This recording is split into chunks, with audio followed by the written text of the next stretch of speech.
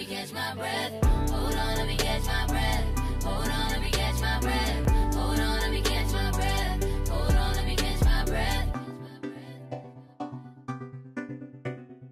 Hey guys, welcome back to my channel. So today I am going to be doing a very quick review on Fenty Skin.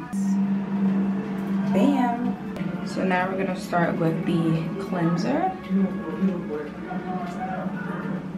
I'm just gonna use a little bit. So I've been like watching a couple of reviews and honestly I just feel like some people have been exaggerating. Like some people be like, the velocity of the skin, like just, it's a, it's a good. Is it good? So now I'm going to rinse off.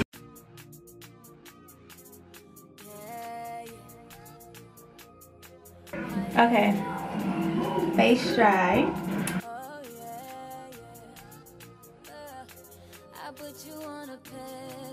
Whatever. That's better. I had to like take out the scarf because it was looking a mess. Okay, so the face is dried and now, oh, I feel like I cut myself. Okay, and now we're gonna move on to the fat water, AKA toner. So I really love how you can like twist it. And I like how it has a hole in the middle so that a lot of product is coming out. Unfortunately, I don't have any cotton pads, so I'm just gonna have to put it on my hands. Oh wow, it's really fat water because like the liquid is really thick. Just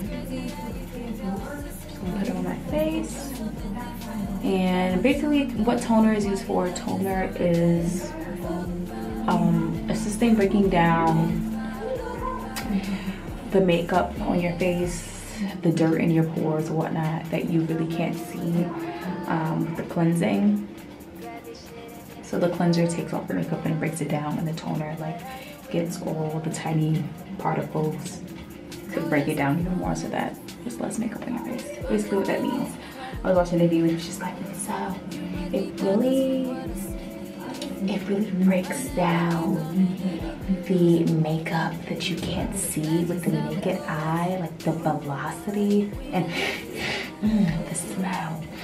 So like, that's so extra. Just is it good or not? You really so. Thoughts on the toner? It's good. Um, my face does feel clean. My face feels hydrated. Um, I would agree that it's replenishing. Um, it doesn't take out any of the hydration out of my face. It doesn't seem like it adds, it doesn't add any either, but in terms of, well, we'll see with the cleanser. I mean with the moisturizer. And now this is the last step, the moisturizer. Twist it. There you go. There you go. So just a little bit, like, she's gonna kill me. Now just adding this into my face. I don't know what it is, but to me it smells like mint. Oh no, you know what it smells like? It smells like gum. Like you know, um, the green gum, it's like the mint gum.